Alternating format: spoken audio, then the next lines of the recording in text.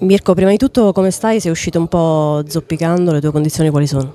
Ma sì, sono uscito perché mi sono venuti i crampi e mi dispiace perché volevo rimanere in campo, dare la mano ai compagni, però purtroppo eh, gestendomi durante la settimana non riesco ad avere 90 minuti sulle gambe, e, però non è niente di grave.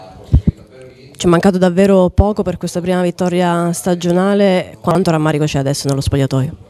Ma tanto, infatti siamo arrabbiati perché comunque sia è arrivato l'ennesimo gol sul calcio d'angolo, la prendono sempre loro, questo non deve più succedere perché poi dopo ci giochiamo veramente le partite perdiamo i punti per strada.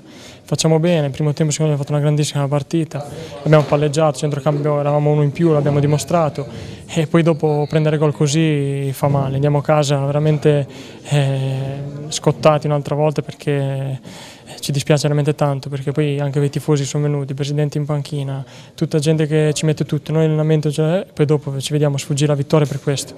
Però eh, ancora una volta grande sofferenza nel secondo tempo, grande eh, spazio lasciato agli avversari, che cosa succede? Cioè, non ce la fate fisicamente, calate, avete riempito l'area di giocatori?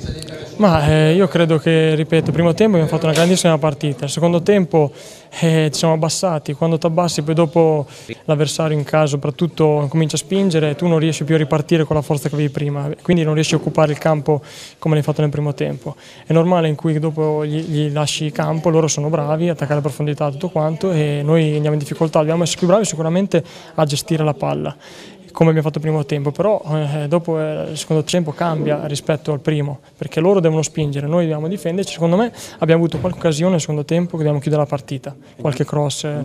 Non è la prima volta, ma perché sulle seconde palle arrivano sempre gli altri?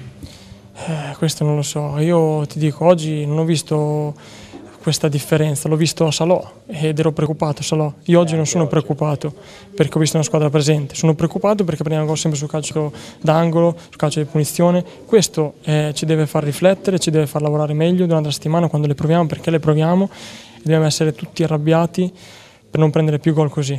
Il cambio di modulo ha dato risposte positive secondo te? Sì, io credo che questa squadra ha dimostrato di stare bene in campo col 3-5-2 e abbiamo i giocatori che possono fare questo modulo, tutti, perché anche chi entra oggi secondo me ha dato una mano importante e domenica scorsa ho visto invece una squadra che era rinunciataria. Oggi non l'ho visto, non posso dire che c'è stata una squadra che non voleva portare a casa la vittoria. Dico solo che non deve più capitare questa cosa.